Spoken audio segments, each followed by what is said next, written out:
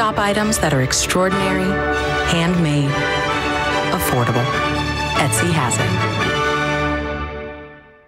People remember ads with young people having a good time. So to help you remember that Liberty Mutual customizes your home insurance, here's a pool party. Good times insurance. Only pay for what you need. Liberty, liberty, liberty, liberty. Tomorrow, Taylor Swift makes her Toronto Film Festival debut, and E.T. is there. It was an amazing experience. Before we go, get ready to enjoy Thor anytime you want because Thor Love and Thunder is available on digital right now. Yeah, and the God of Thunder may just want to change his name too. God of the Gag Reel. Go to ET Online for more. Take care. Happening now. The people of Great Britain and the world mourning the passing of Elizabeth II, the Queen of England. Coming up, local reaction to her death. And we show you a photographer's legacy, one that he hoped would help those battling cancer even after his death. And we have a few hits on the radar screen to talk about. We'll take a close look at those. Plus, the newest drought monitor is in. and We'll see what improvements have been made over the past few weeks. The News at 5 starts right now. Many people felt they knew her personally. The world reacting to the news Queen Elizabeth II has died. She was the longest serving monarch in history. And from the first moment, the doctors expressed grave concern for her medical condition overnight. Her family began gathering at her bedside in Scotland, some of them rushing across the country to get there just in time. Then, at approximately 1240 our time, the royal family using Twitter to make the somber announcement saying, quote, the Queen died peacefully in Balmoral this afternoon. The King and Queen consort will remain at Balmoral this evening and will return to London tomorrow, end quote. As you can imagine, the people of England are in mourning. Hundreds of thousands expected to pay their respects. Many adding flowers, as you're looking at, to the growing memorial set up outside Windsor Castle. Many more expected to stand in a vigil to mark the Queen's passing. Meantime, back here stateside in Washington, D.C., the American flag lowered to half staff in honor of Britain's Queen Elizabeth. Some of you may remember the Queen visited the Alamo City more than three decades ago. It was her first trip to Texas, and it included stops in San Antonio, Austin, and Dallas. Our RJ Marquez is live with local reaction to the Queen's death, including from a local pub owner who's in London right now. RJ. Yeah, that's right, Stephen Ursula. We're outside Mad Dog's British Pub right here along the River Walk. And as you guys just mentioned, a lot of people even here just stopping to take a time to take a photo or pay their respects to Queen Elizabeth. There was a cardboard cutout behind me where many people are just stopping to just take a moment to pay honor and respect to the Queen. And you mentioned that trip to San Antonio. That was back in 1991. Of course, included a trip down the San Antonio River with then Mayor Lila Cockrell. There was also a stop at the Arneson River Theater and the Alamo. There were 25,000 people that were here for that Queen's visit. So the Queen transcended, obviously, generations. And this is a big loss for many people around the world, including here at home. Terry Corliss is the CEO and owner of Mad Dog's British Pub on the Riverwalk. He is currently in London for a trip with his co-workers. We caught up with him today to discuss the mood and feeling right now throughout the country.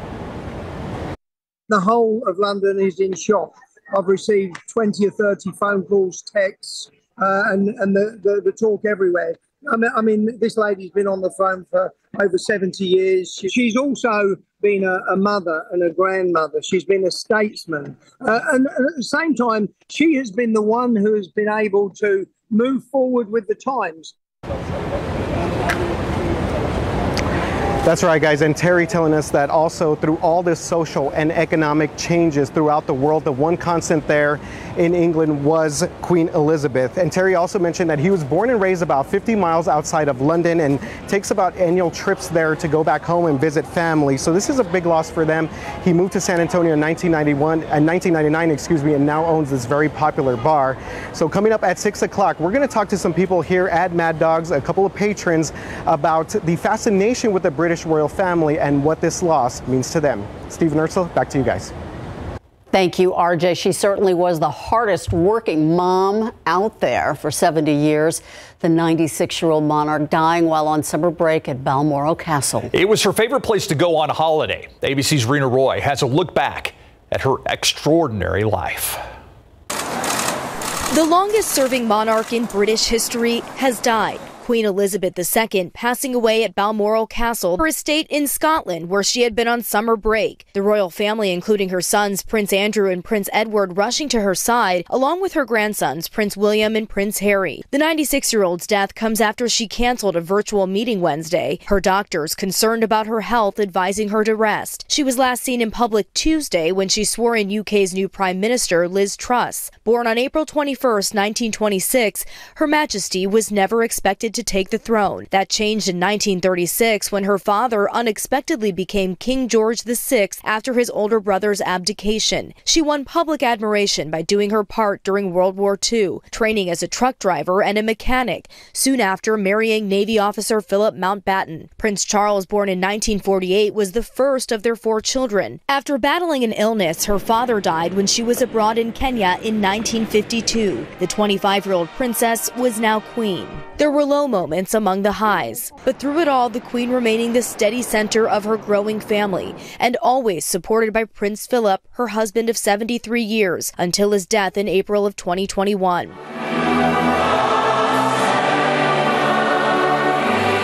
Today marks the end of the second Elizabethan age, the end of an extraordinary reign that spanned seven decades and so much change. A family and a nation says goodbye to a much loved matriarch and monarch.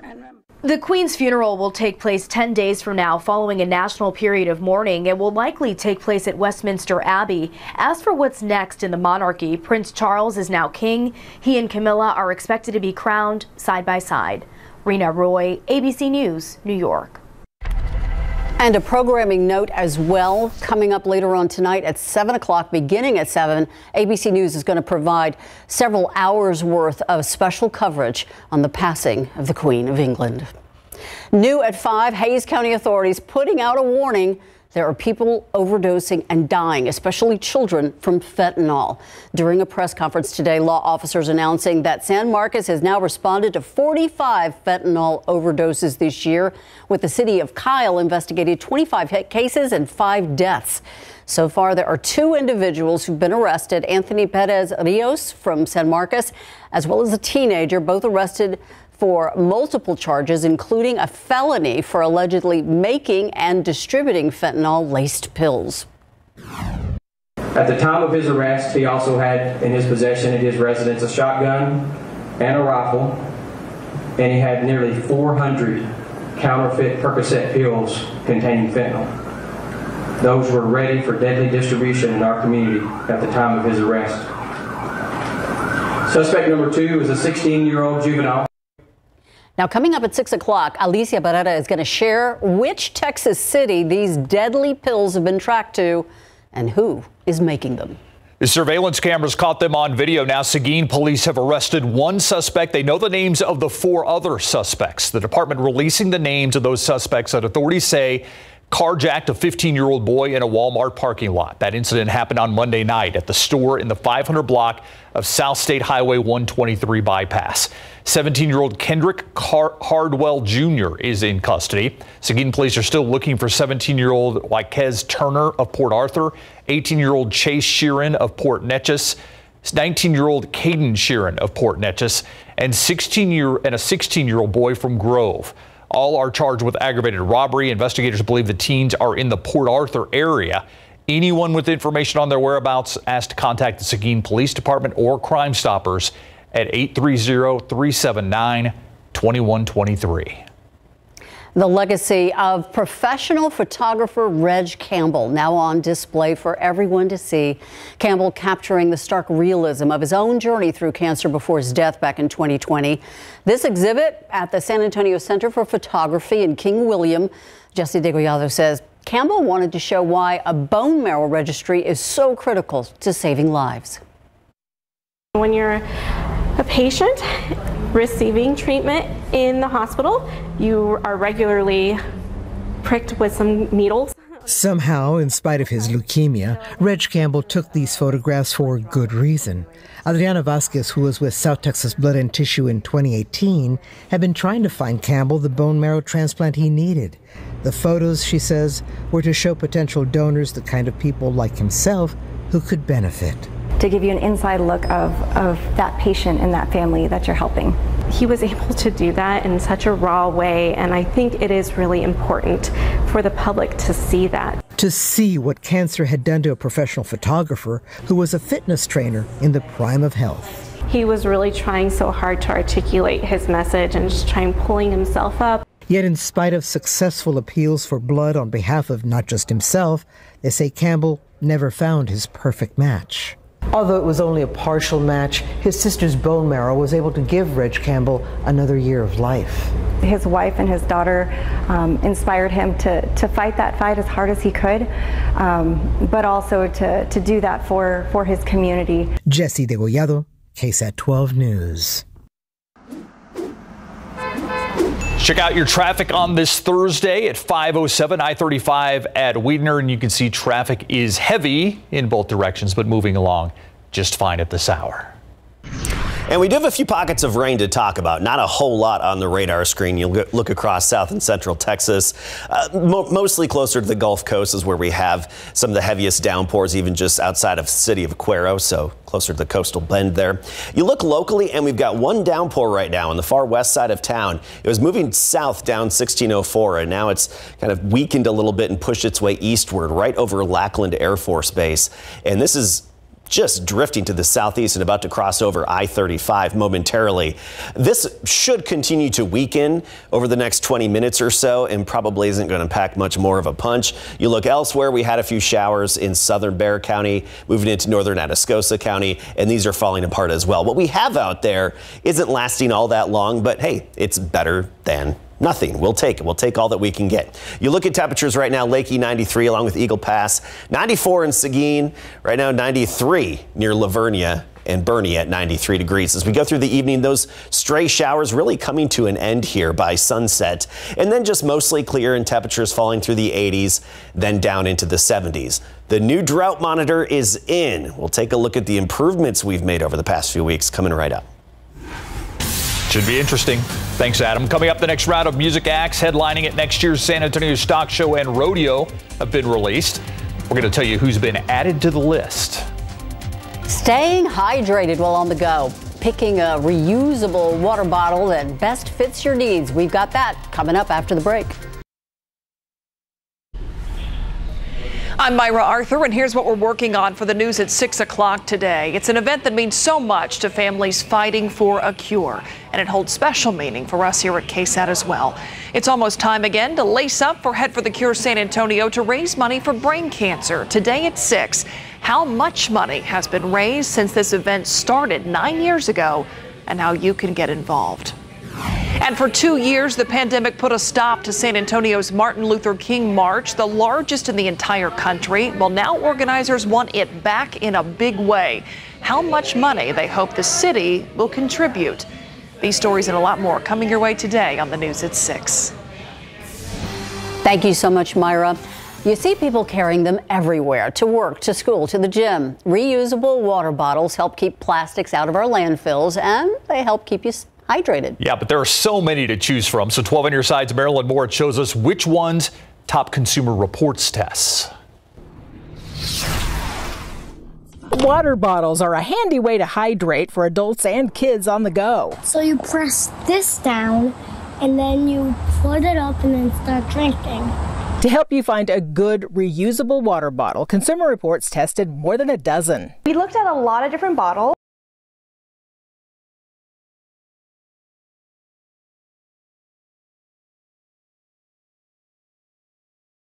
Clean go right in the dishwasher or don't have parts with hard to reach areas. Take this CamelBak for kids. It's completely leak and spill proof thanks to a straw piece that does not detach, but that piece is a little more challenging to clean. If that's a deal breaker, this budget friendly Contigo Trekker strikes a balance between kid friendly and easy to clean. Need durability? Testers say these Yeti Ramblers are nearly indestructible, keep drinks cold for more than 36 hours, and are super easy to clean. The Yeti is a pretty solid and heavy water bottle, so if you've got smaller kids or you want something that's really easy to tote around or like take to the gym, you might want to consider something lighter. For example, this Hydro Flask, it weighs less than a pound and it keeps your water pretty cold. It also fits perfectly into most cup holders. The wide mouth with straw lid is $40. If ice cold water isn't priority, you can save some money with this sun dried water bottle. It has a silicone mouthpiece that's easy to use and easy to clean. Marilyn Moritz, KSAT 12 News. The San Antonio Stock Show and Rodeo making sure that you'll be kicking up your heels this February. Today, the officials announced the names of additional musical artists that are going to be performing there. So now on the list, Nelly, Tracy Byrd, Gary Allan, and the group Midland. Earlier this summer, the rodeo committee announced entertainers Lynyrd Skynyrd, you'll go to that, right? Kasky, Keith Urban, Los Tigres del Norte, and Lee Brice, Jake Owen, and Carly Pearce. They're going to be taking the stage at the AT&T Center and Freeman Coliseum grounds.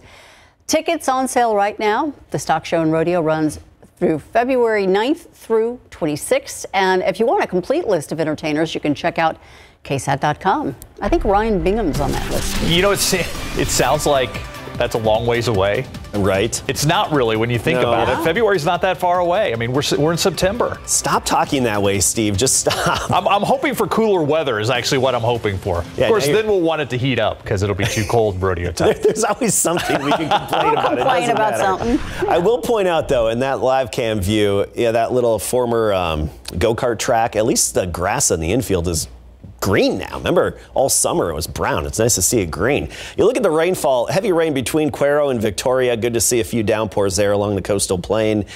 And this activity between Pleasanton and Flor- Floresville has really dissipated quite a bit as it's been pushing southward, basically, basically paralleling I-37 as it moves southward. And that last little shower we talked about that's left over, there you go. It has dissipated and it's pretty much fallen apart here along I-35 and 410, right near Lackland Air Force Base. In terms of actual rainfall accumulations today, we'll take a look at the 12-hour totals here. And everywhere you see the uh, color on the screen, that's where we have had rainfall today. And you see a few streaks, one on the far west side and one on the far south side of San Antonio. When you get into the light greens, that indicates uh, half an inch of rainfall estimated by the Doppler radar. So 37 and 1604 here about a half an inch. We'll get exact there uh, at 0.6, and you get off Lamb Road, and we're talking 0.5. So there you have it. Generally under half an inch, but we're, there were a few pockets, obviously, where we had about a half inch of rainfall. And again, we could see a few more through sunset, but that's about it. Okay, drum roll, please. This is the new, this is the old drought monitor, okay? This is three weeks ago. You see the extreme and exceptional drought all across our area. To then, today. We really chipped away at that drought over the past three to four weeks, and it's good to see those improvements. Obviously, we still have some more work to do.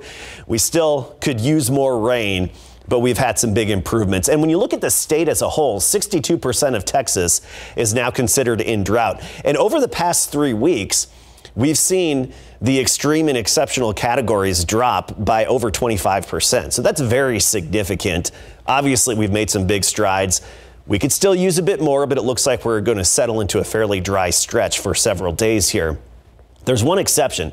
We've got this upper level low, this cutoff low. It's separated itself from the main flow in the atmosphere. So just sitting and spinning over New Orleans and the northern Gulf. On the backside of it in this northerly flow, little bits of energy. That's why we had that 10% today, 10 to 20%. And I think we'll have that again tomorrow. A slight chance, 10 to 20% chance. But then as that low progresses eastward, it's out of here and we're just looking at a sunny and pretty straightforward pattern. Now this is interesting. Hurricane Kay making landfall in the western Baja Peninsula here, central Baja, going to bring more heavy rainfall to parts of Baja Peninsula and southern California as well. Over the next several days, this is slowly going to go right along the coastline before arcing out and then southward. It's not going to be a very strong system, but it's going to bring several inches of rain to the desert of California. Not unheard of, but a unique situation for them. Palm Springs, for example, California, averages about four to four and a half inches of rain a year. They could quickly get that within a few days from that system. So 94 are high today. The average 92, record 101 right now. Well, we're at 93. It feels like a degree warmer when you factor in the mugginess. Kerrville at 90, Cotulla 95, Gonzales right now at 94, and 88 in Helotes, 86 Port SA. That's where we've had a few showers. 73 in the morning tomorrow at 7 a.m. By noon, we're talking 89 and then a high temperature of 95, becoming partly cloudy with that off chance of that stray shower. One thing you'll notice in the seven day forecast pretty much dry and not much variation in temperatures, mid 90s. Thank you, Adam. All right, let's go from San Antonio to Springfield, Massachusetts, where they are getting ready to honor Manu. Our Greg Simmons is there. Greg. Yeah, we're coming to you live right now from the Naismith Memorial Basketball Hall of Fame right here in Springfield, Massachusetts. It is a Shriman weekend for Manu Ginobili, and we are here for all the festivities. When we come back, we'll get you ready for that. Plus, when we come back, big game coverage week number three kicks off tonight. Coming up.